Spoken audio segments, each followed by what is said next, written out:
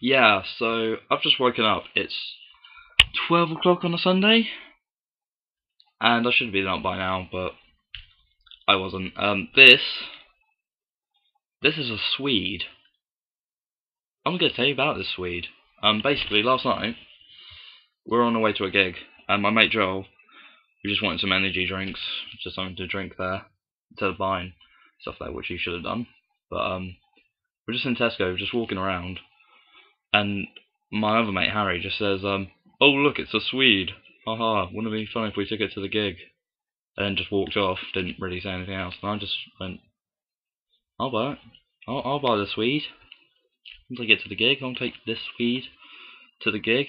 And I did. Brought a Swede. It was 50p from uh, Tesco's. There you go. See, British Swede.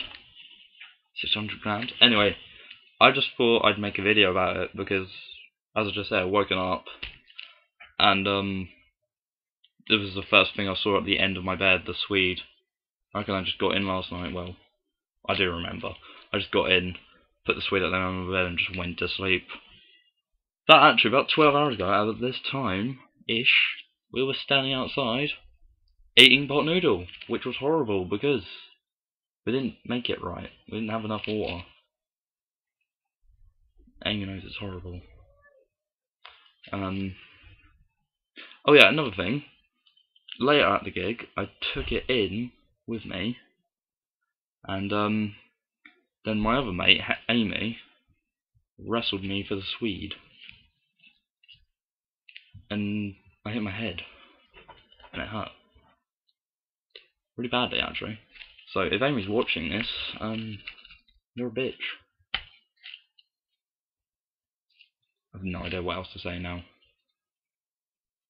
It's a. So yeah. Oh, and um, we went a bit crazy with pen last night, and uh, my mate Katie decided to write "pimp" on me, right there, and a few other things. Say she wrote "I love Paramore," even though I don't listen to them.